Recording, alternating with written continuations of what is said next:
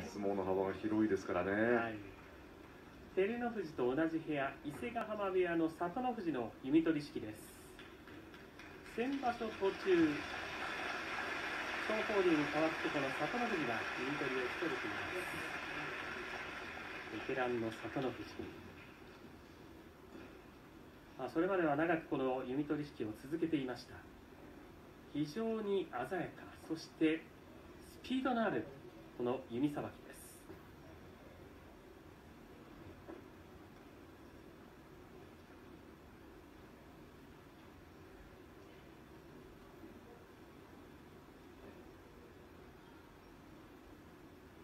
部屋の横綱照ノ富士に代わって土俵を整えます。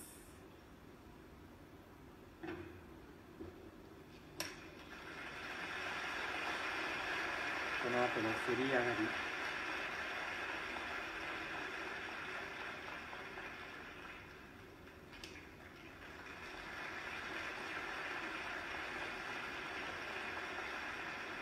今日波乱はありませんでした。